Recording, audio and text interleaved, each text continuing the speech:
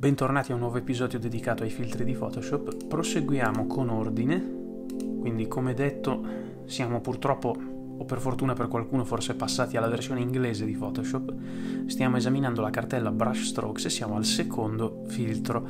Andiamo a vedere quindi eh, Angle Strokes e vediamo che immediatamente sono state aggiunte delle pennellate che hanno una direzione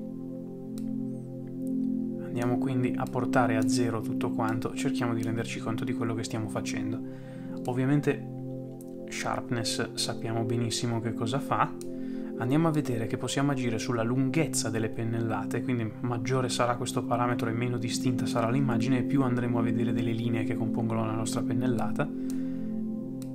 E andiamo a vedere che con direction balance possiamo agire e introdurre delle variazioni sulla direzione delle nostre pennellate. Un effetto abbastanza interessante con cui si possono creare per esempio degli astratti.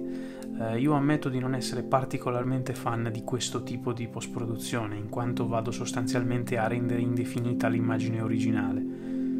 Però rimanendo su dei valori non troppo estremi è anche possibile tirare fuori qualcosa di carino.